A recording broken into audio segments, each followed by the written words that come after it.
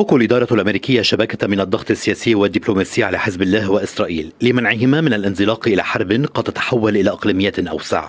فبحسب كل من صحيفة بوليتيكو وموقع أكسيوس الأمريكي فإن رسائل متبادلة غير مباشرة بين الولايات المتحدة وحزب الله وإسرائيل عن رغبة مبدئية في تهدئة التصعيد العسكري على الحدود الجنوبية.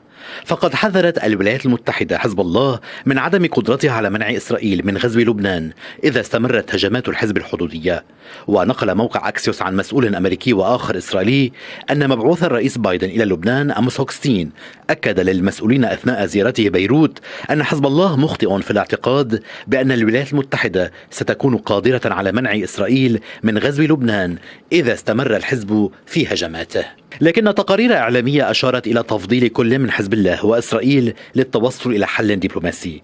وبعد زيارة هوكستين إلى المنطقة توجه مستشار الأمن القومي الإسرائيلي تسحي هنجبي ووزير الشؤون الاستراتيجية رون ديرمر إلى واشنطن لعقد اجتماعات في البيت الأبيض وأخبر كبار مساعدي بايدن بأن نتنياهو ليس مهتما بحرب مع حزب الله ويفضل الحل الدبلوماسي وفقا لمسؤولين أمريكيين. وقال مسؤول أمريكي أن مستشاري بايدن أبلغوا ديرمر وهانجبي بأنهم يعملون على حل دبلوماسي دبلوماسي لكن إذا اندلعت حرب في لبنان فأن الولايات المتحدة ستدعم إسرائيل بشكل كامل. وزير الحرب الإسرائيلي يوآف جالانت الذي يزور واشنطن سمع من بلينكن دعوة لتجنب مزيد من التصعيد في لبنان لكنه تسلح بمساندة أمريكية من نظيره لويد أوستن.